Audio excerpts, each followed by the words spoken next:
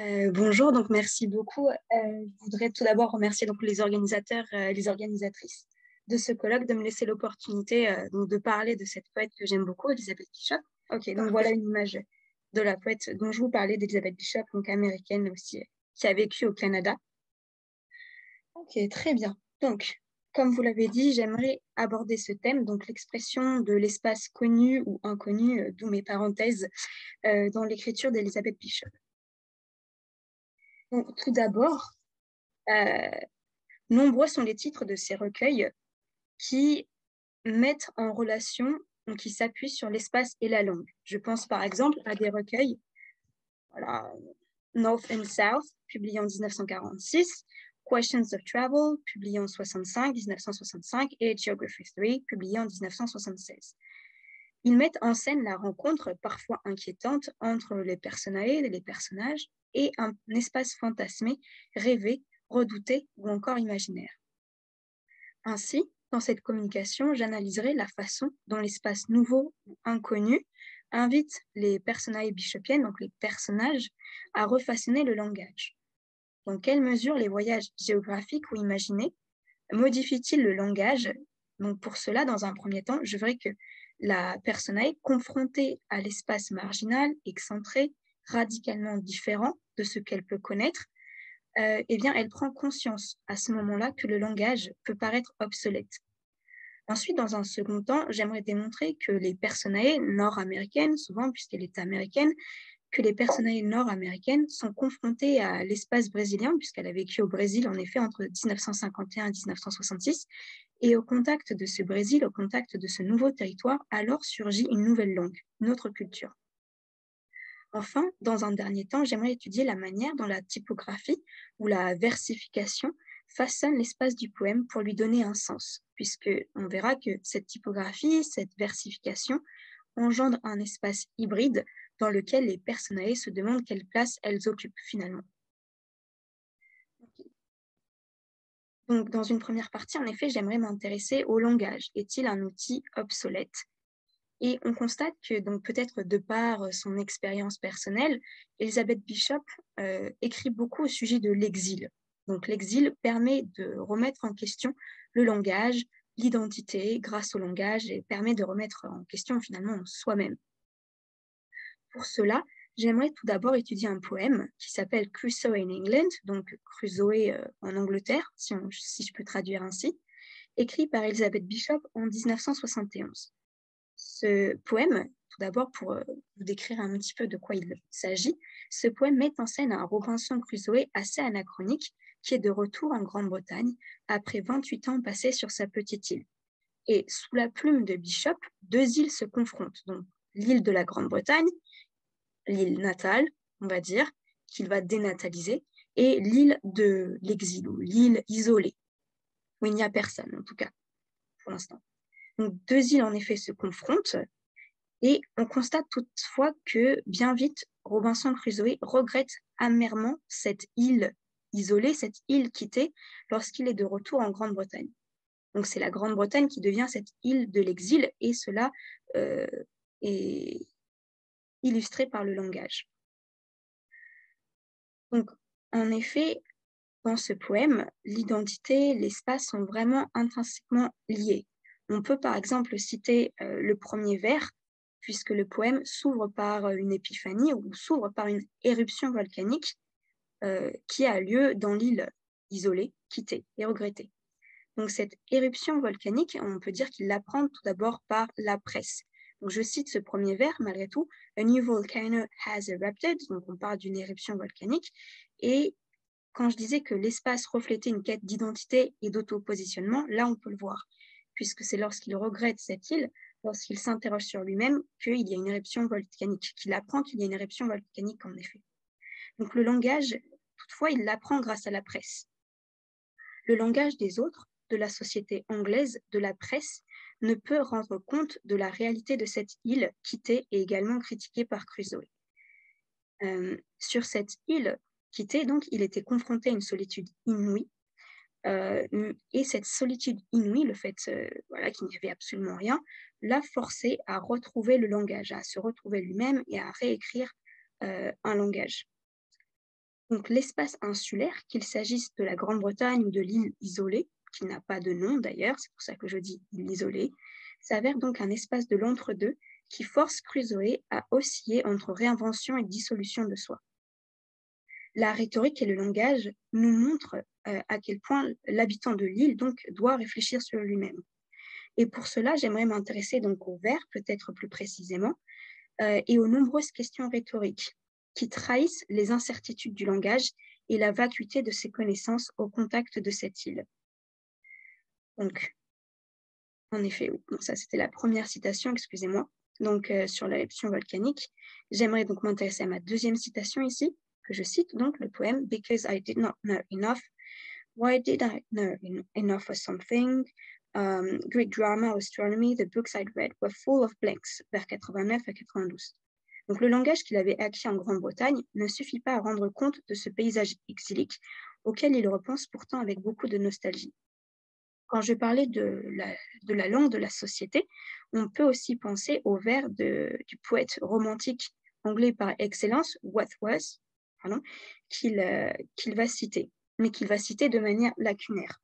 Je cite They flash upon the inward eye, which is the bliss, point de suspension, the bliss of what, vers 95-96. Donc là, il cite un vers de Wordsworth, donc du poème I Wandered Lonely as a Cloud, et cet oubli n'est pas anodin, puisqu'on a des points de suspension, donc which is the bliss, bliss, point de suspension, il a oublié le mot, la suite du vers, et ce mot qu'il oublie est le terme solitude. Donc ce n'est pas anodin à mon sens. On constate donc que l'oubli du langage canonique et culturel, donc là Wordsworth, démontre à quel point Crusoe refuse d'appartenir à la société britannique car il a été en contact euh, d'une île quasi déserte où les livres finalement n'avaient aucune utilité. Je passe un petit peu. Voilà. Euh, la perte progressive du langage ou la conscience que le langage ne peut euh, rendre compte du paysage réellement le transforme peu à peu en animal. C'est ce que je vais étudier à présent. Toujours dans ce poème, Crusoe in England, Crusoe en Angleterre, il s'avère donc privé de mots pour décrire cet espace, à un tel point qu'il est réduit au stade animal et doit réinventer le langage, comme je l'ai dit. Crusoe est ainsi forcé de regresser au stade de l'enfance prélangagée qu'évoque Lyotard. Et le choix des onomatopées atteste, à mon sens, la transformation progressive de la persona, donc de Crusoe, en animal, et souligne donc la confusion de ce personnage. Donc, je cite par exemple un vers du poème, vers 102 à 104. I was a girl too, or a girl, ba, ba, ba, and shriek, shriek, ba. Vous avez l'idée. Donc, ici, c'est assez intéressant puisque Elisabeth Bishop a recours à des onomatopées pour dire qu'en effet, il devient une chèvre, il devient une mouette, d'où ces onomatopées. Et en même temps, ce qui est paradoxal, c'est que pour ce faire, donc, Bishop utilise un savant mélange de langage rhétorique et soutenu, et donc d'onomatopée, puisqu'elle utilise la formule, euh, la, figure de style, la figure rhétorique de l'épizeux, donc c'est-à-dire qu'elle euh, répète un terme, ba, ba, ba, shriek, euh, sans, sans coordonnées, en fait, sans coordination. Donc cette figure éminemment littéraire souligne de manière paradoxale la dualité de la perte du langage, de la transformation de soi en animal. Je passe un petit peu. Euh, à présent, j'aimerais étudier donc un autre thème dont j'ai parlé. Euh, j'ai dit au tout début qu'en effet, Bishop avait vécu au Brésil euh, entre 1951 et 1966. C'est pourquoi nombreux de ses poèmes mettent en scène finalement la façon dont les personnages nord-américaines rencontrent les Brésiliens, sont choqués, sont surprises en tout cas par ce nouveau territoire. Et ça se traduit par la langue, par le vers. Donc c'est en effet au contact du Brésil, de cet espace radicalement autre, que les personnalités puritaines et nord-américaines bishopiennes se sentent perdues. Donc je vais m'appuyer sur un poème qui s'intitule Questions of Travel, donc question de voyage, je suppose, il n'a pas été traduit ainsi peut-être. Et dans ce poème, donc je cite les premiers vers, There are too many waterfalls here, the crowded streams hurry too rapidly. Donc celui-ci, donc ce poème, Questions of Travel, illustre la rencontre incongrue entre une touriste nord-américaine et le territoire brésilien qu'elle découvre pour la première fois. On sent l'ironie derrière de Bishop d'ailleurs. La langue et la rhétorique mettent en avant le profond sentiment de décalage qu'elle ressent, puisque la répétition du terme strange, aussi qui est répété au vers 16, au vers 17, puis aussi l'utilisation fréquente des formes de des superlatifs ou de l'adverbe to, comme je l'ai mis sur le diapo, donc tu, euh, too many waterfalls, too rapidly, etc., tente à souligner de manière purement rhétorique ici son sentiment de surprise face à ce nouveau territoire auquel elle ne semble pas pouvoir parvenir à s'adapter.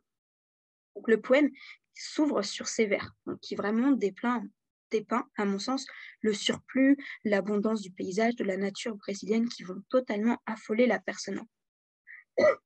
Dans, une, dans un second temps, euh, j'aimerais m'intéresser, donc comme je l'ai dit, elle a beaucoup vécu au Brésil, et on constate que dans ses poèmes, elle va mélanger le brésilien, l'espagnol, l'anglais. Voilà quelques exemples que je vous mets sur le diapo.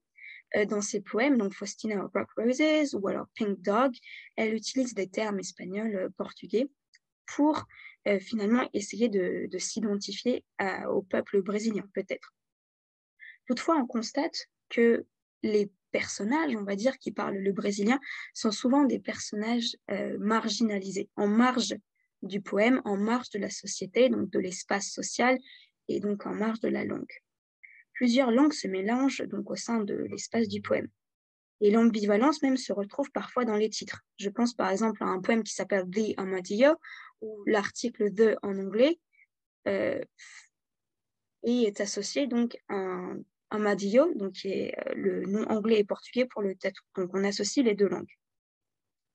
Elle utilise le portugais à plusieurs reprises, donc c'est parfois la langue de l'invasion des, nations européennes qui vont envahir le continent sud-américain, dans Brazil, January the 1st, par exemple, mais c'est aussi une langue parfois euh, qui illustre les hiérarchies sociales.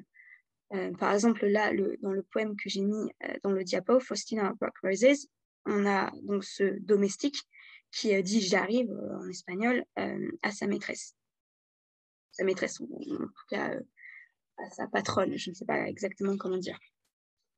Donc, la langue, on constate que la langue ou que les codes linguistiques, que l'alternance entre les langues, reflètent vraiment l'ambivalence des rapports sociaux de l'espace. À présent, j'aimerais m'intéresser à un autre euh, point. Je vais peut-être aller un peu vite puisqu'il me reste trois minutes. Euh, donc, la, langue est vraiment spatialisée grâce, euh, grâce au plan. On constate qu'il y a beaucoup de plans, beaucoup de vignettes, beaucoup de cartes dans la poésie d'Elizabeth Bishop. Je pense par exemple à un poème qui s'intitule The Map, donc le titre est assez explicite ici. Il y a un autre poème qui s'intitule aussi Over 200 2000 Illustrations. Et ce plan, la métaphore du plan ou l'image du plan, c'est un moyen pour elle de développer la poétique de l'ancrage, du positionnement. Donc le plan devient une image, une source d'imagination. Et le plan, en effet, permet de modifier les échelles et de réorienter le lecteur dans sa lecture de l'espace et du monde. Donc, c'est pour cela qu'à mon sens, le plan oscille entre langage et espace. Il est à mi-chemin entre le texte et l'image. Et par exemple, dans un poème qui s'intitule Over 2000 Illustrations, et je vais bientôt finir, Over 2000 Illustrations, la personne a recrée le monde. Et on constate que tous les territoires euh, sont liés, en fait. Tous les continents sont liés. Il n'y a plus de distance entre l'Amérique, entre l'Afrique, etc. Et tout est connecté. Et elle le dit à la fin, en effet, dans ce poème, over 2000 illustrations, everything is connected, and, and, and, etc. Donc, ces poèmes comme The Map aussi, ou Over 2000 illustrations, abolissent vraiment les frontières entre les espaces. C'est pour cela qu'à mon sens, l'espace poétique devient une source de recréation. J'aimerais revenir euh, brièvement sur le poème qui s'intitule Robinson euh, Crusoe in England, dont j'ai parlé. Et dans ce poème, on constate que la persona utilise beaucoup de parenthèses. Euh, la parenthèse donc est un signe purement typographique ou rhétorique qui met en scène la mémoire, la mémoire du lieu qui devient vraiment donc malléable. Le langage poétique, donc l'écriture, avec ses règles de versification, de rejet, de contre-rejet, révèle parfois plus d'éléments que ce qui est dit. Le langage va défamiliariser l'espace familier grâce donc aux signes typographiques. Je, vais m'attarder brièvement sur un poème qui s'intitule The End of March, qui s'ouvre sur une, toute une série de mots composés. Donc j'ai uh, mutton fat, uh, dog print, uh, tie line, etc. Donc toute une série de mots composés qui vont interroger le monde ordinaire du quotidien qui se situe donc dans un entre-deux. Il y a aussi un autre, euh, le titre d'une nouvelle qui est assez intéressante, The Sea and its Shore, avec l'esperluette ici. C'est une nouvelle de Bishop. Et cette esperluette donc est un, signe typographique purement linguistique, purement lang euh, langagier, qui illustre donc l'espace de l'entre-deux. On est entre le rivage et la mer. Et ce territoire devient et le rivage et la mer à la fois. Il n'y a pas vraiment de frontière particulière. C'est vraiment un signe qui va orienter notre lecture dans l'espace du poème. Euh, pour conclure, donc on constate en effet que la langue et la rhétorique bishopienne reflètent les interrogations des personnages qui n'ont de cesse de vouloir trouver un point d'ancrage à l'image de Bishop, peut-être elle-même, qui arpenta le monde tout au long de, sa vie, finalement. Je vous remercie de m'avoir écouté.